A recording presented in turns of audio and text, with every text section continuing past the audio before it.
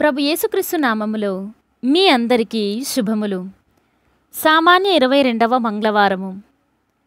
లౌకిక వ్యక్తి ఆత్మచే ఒసగబడు వరములను గ్రహింపలేడు. ఆధ్యాత్మిక వ్యక్తి అన్నిటి విలువలను నిర్ణయింపగలడు.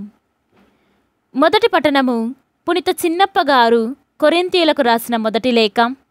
రెండవ అధ్యాయము పదవ వచనము నుండి పదహారవ వచనం వరకు. కానీ తన ఆత్మ ద్వారా దేవుడు మనకు తన రహస్యమును వెల్లడించెను. ఆత్మ అంతయును వెతకును. దేవుని సంకల్పపు అగోచరమగు లోతులను కూడా వెతుకును. ఒకని ఎందలి ఆత్మయే తప్ప మరి ఎవ్వరును వాని ఆలోచనలను తెలుసుకొనగలరు.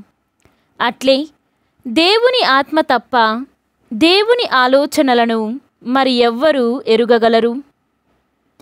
మనము స్వీకరించినది ఈ లౌకిక మగు ఆత్మ కాదు.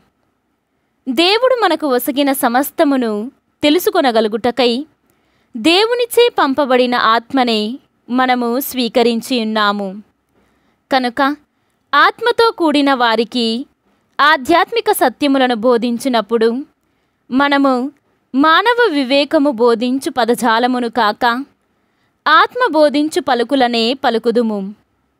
కానీ లౌకిక వ్యక్తి దేవుని ఆత్మచే ఒసగబడు వరములను గ్రహింపలేడు. దానికి అవి అర్ధరహితములు. నిజముగా అతడు వానిని అవగాహనము చేసుకొనలేడు.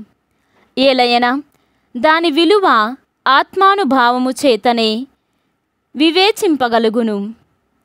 ఆధ్యాత్మిక వ్యక్తి అన్నిటి విలువలను నిర్ణయింపగలడు. కానీ ఎవరును దానిపై తీర్పు చెప్పలేరు.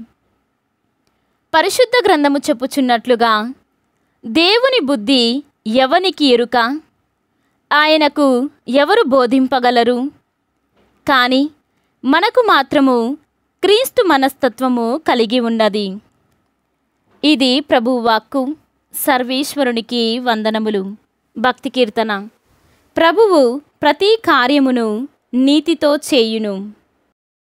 ఈనాటి సువిశేషము పునీత లూకాగారు వ్రాసిన సువిశేషము నాలుగవ అధ్యాయము ముప్పై ఒకటవ వచనము నుండి ముప్పై ఏడవ వచనము వరకు. పిదప ఆయన గలిలియా సీమలోని కఫర్నాముకు వచ్చి విశ్రాంతి దినమున ప్రజలకు బోధించుచుండెను. ఆయన బోధకు వారందరూ ఆశ్చర్యపడిరి. ఏలయన ఆయన అధికారపూర్వకముగా బోధించుచుండెను. ఆ ప్రార్థనా మందిరములు దయ్యము పట్టినవాడు ఒకడు కేకలు వేయుచు నజరేతు నివాసిగు యేసు మాతో నీకేమి పని? మమ్ము నాశనము చేయవచ్చితివా నీవు ఎవడవో నేను ఎరుగుదును. నీవు దేవుని పవిత్ర మూర్తివి అని అరచెను. నోరు మూసుకొని వీని నుండి వెడలిపొమ్ము అని యేసు ఆ దయ్యమును గద్దింపగా అందరి ఎదుట అది వానిని విలవిలలాడించి వానికి ఏ హానియు చేయక వెళ్ళిపోయెను. ఇది చూచి జనులందరూ ఆశ్చర్యపడి ఇతడు అధికారముతోనూ శక్తితోనూ దయ్యములను ఆజ్ఞాపించగనే అవి వెళ్ళిపోవుచున్నవి అని ఒకరితో ఒకరు చెప్పుకొనసాగిరి. ఆ పరిసరములందంతటా ఆయనను గూర్చిన సమాచారము వ్యాపించెను. ఇది క్రీస్తు సువిశేషము. క్రీస్తువా మీకు స్థుతి కలుగునుగాక.